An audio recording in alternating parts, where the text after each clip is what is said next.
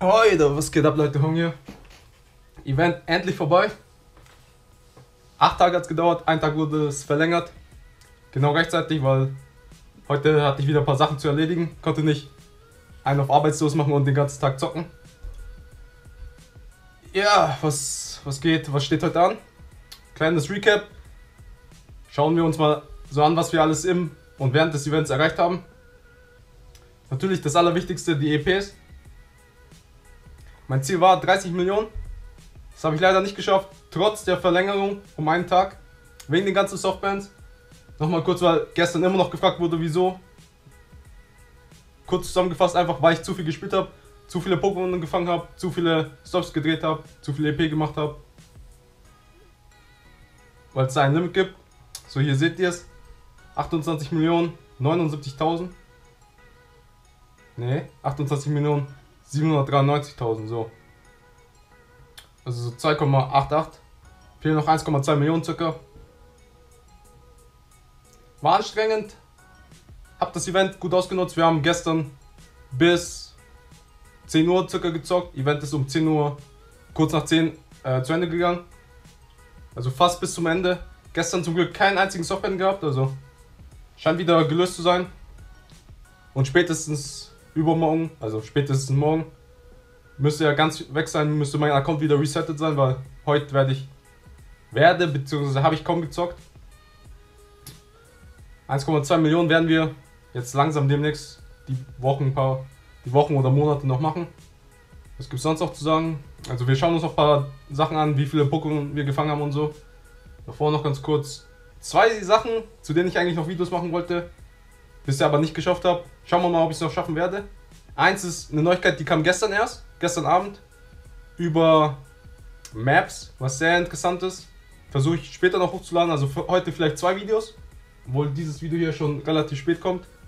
Und dann habe ich immer noch kein Video über Reden gemacht, aber ich weiß auch echt nicht, wie ich das machen soll. Ich habe echt keinen Bock eigentlich so 20, 30 Minuten über das Thema zu reden. Ihr wisst, ich bin eher ein praktischer Mensch. Die anderen reden über die Events und wie viele Tratinis oder Lavitas so auftauchen. Und ich bin direkt am Start und fange die bereits. Also, ihr wisst, ich bin eher so ein praktischer Mensch. Deswegen, ich habe versucht, über das Arena-System zu labern, aber da kam halt 30 Minuten heraus, wie ich einfach laber. Und das ist, wie wir wissen, nicht das Allerbeste. Mal schauen, vielleicht mache ich echt noch ein ganz kurzes Video über meine Meinung zum Arena-Update. Also, meine Meinung ist, dass ich es super finde. Aber echt keine Ahnung, wie ich das mache. Ich will echt nicht wie die anderen einfach so 20 Minuten Theorie, so trockene Theorie labern und labern. Weil momentan ist echt alles nur Spekulation und Theorie. Ich will eigentlich echt nur raus. Direkt, wenn es äh, freigeschaltet wird, direkt raus hier und ein paar Arenen machen und euch das zeigen. Das ist halt mein Stil. Ah, aber zurück zum Event. Schreibt unten in die Kommentare, wie viele EP ihr natürlich gemacht habt.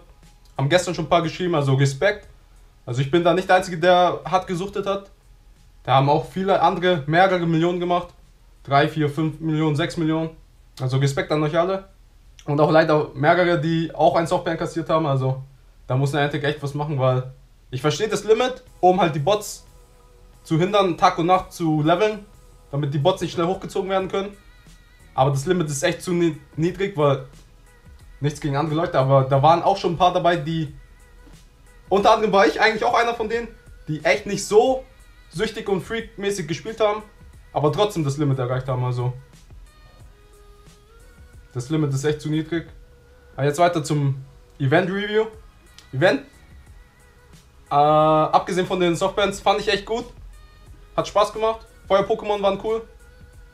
Ähm, viele Labras, habe das Gefühl, dass Labras wieder gut sein könnte mit dem neuen Update. Auch aus den Modulen, was früher nur kam. Also ich habe schon, also abgesehen vom Event, so lange kein Labras mehr aus dem Modul gehabt. Hatte allgemein nichts Gutes aus dem Modul. Also das kann echt öfters passieren, weil das macht echt Spaß. Und wäre auch eine gute Erweiterung, Ergänzung für die Module, weil ich kenne viele, die regen sich auf, weil da nur Müll rauskommt. Aber Module sind halt eigentlich hauptsächlich zum Leveln. Aber ab und zu mal ein Respawn wäre schon nicht schlecht. Äh, fangen wir mal an bei Eis. Da hatte ich weit unter 1000. Jetzt habe ich über 1000. Hauptsächlich dank den Labgas, aber Also Lapras und äh, Prequel wahrscheinlich. Keifel keinen einzigen gefangen. Und Sneasel, ein, zwei, also auch recht selten. Von denen hätte ich gerne mehr gefangen. Gusana, auch sehr selten, kaum eine gesehen. Ein, zwei vielleicht gefangen, maximal. Was gab es noch für Eis-Pokémon? Ich glaube, das war's. Also sehr viele Mushas und Yugops natürlich, die Vorentwicklung. Yugon keinen einzigen gesehen, auch so einen, also die waren auch recht selten. Dann vorher natürlich Ensfield. Da hatte ich, glaube ich, auch unter 1000. Kann das sein? Ja, unter 1000 hatte ich auf jeden Fall. Ich erinnere mich, 800 hatte ich genau.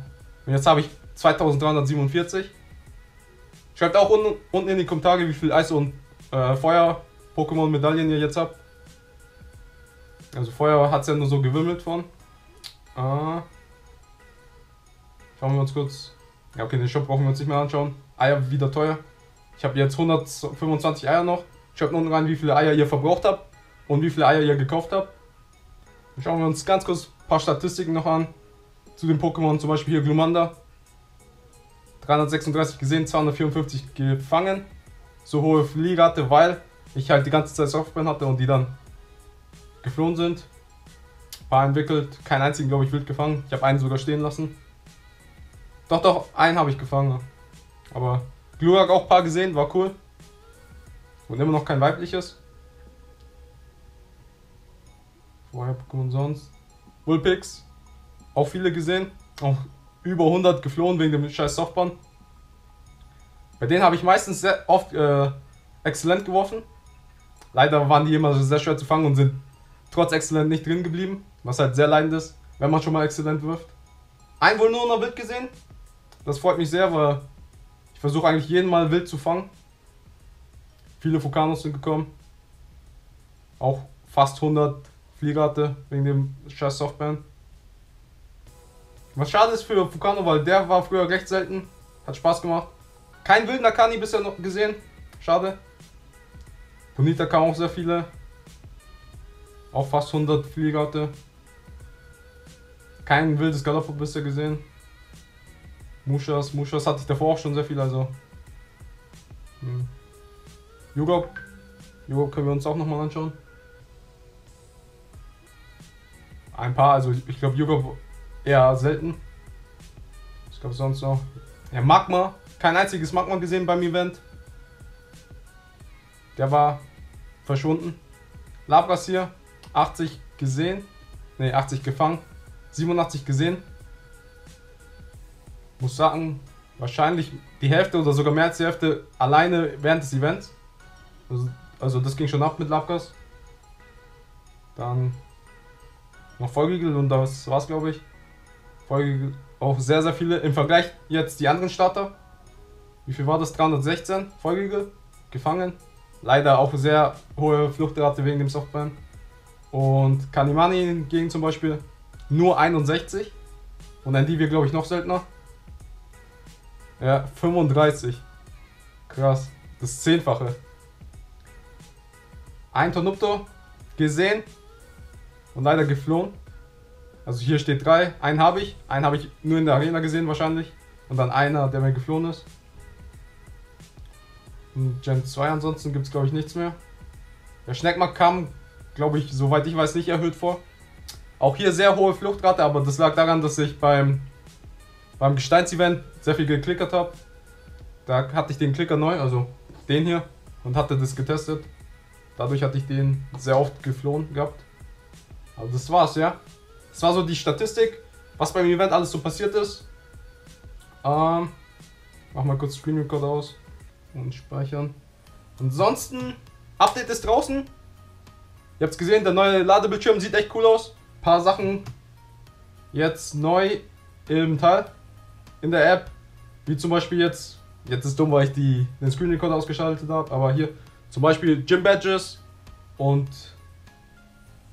Raids kann man jetzt sehen, aber sind noch nicht aktiv natürlich. Arenen sehen jetzt auch ein bisschen anders aus und Pokestops haben so, so einen Ring. Sieht alles ganz cool aus. Müsste jetzt demnächst alles freigeschaltet werden. Heute kam, also gestern kam Android Update raus. Heute spätestens habe ich gehört, haben auch iPhone iOS das Update. Also müsste jetzt, vielleicht heute Abend sogar schon Oder zumindest die nächsten paar Tage die Arenen wieder freigeschaltet werden. Ansonsten noch cooles Feature jetzt. Bei Pokémon kann man Sachen hier suchen. Ich werde jetzt nicht extra dafür, glaube ich, ein Video machen, aber echt paar coole Details. Ist halt jetzt alles mit dem Update rausgekommen. Das wäre echt nützlich gewesen fürs Trainieren. Gibt es jetzt leider nicht mehr. Trainieren wurde abgeschafft. Für alle, die noch nicht die Goldmedaille haben, das ist richtig leidend. Aber das halt. Also das gehört alles zum Arena-Update. Mal schauen, ob ich dazu noch ein Video mache. Wie gesagt, bisher hatte ich echt Schwierigkeiten da, ein Video zu machen, das mir persönlich taugt. Weil ich kann echt nicht 30 Minuten darüber labern. Also mir persönlich, ich habe noch keine, keinen Weg gefunden, wie ich das euch präsentieren kann. In einem Weg, der mir persönlich gefällt. Anstatt jetzt einfach so 30 Minuten darüber zu labern, was mir persönlich nicht taugt. Also schauen wir mal, ob ich darüber noch reden werde. Wie gesagt, zweites Video kommt vielleicht heute noch, wenn es nicht zu spät wird und ich noch Zeit habe. Weil das Thema ist echt interessant. Heiße Waage sozusagen, sollte man schnell diskutieren. Ansonsten würde es natürlich erst morgen kommen. Aber das war's. Schreibt unten in die Kommentare, wie ihr das Event fandet. Alle Statistiken, wie viele Pokémon ihr gefangen habt, wie viele Lapis ihr gefangen habt, wie ihr das Event fandet. Und wie immer liken, subscriben, kommentieren. Checkt die anderen Videos ab. Folgt mir auf Instagram und Facebook. Und wir haben übrigens 4000 Abos geknackt. Das werde ich demnächst auch noch machen. Also eine Menge Sachen werden jetzt demnächst kommen. Ich weiß gar nicht, wie ich das alles schaffen kann, werde. Aber auf jeden Fall vielen Dank für die ganze Unterstützung. Und vergesst nicht, Pokémon ist das Business.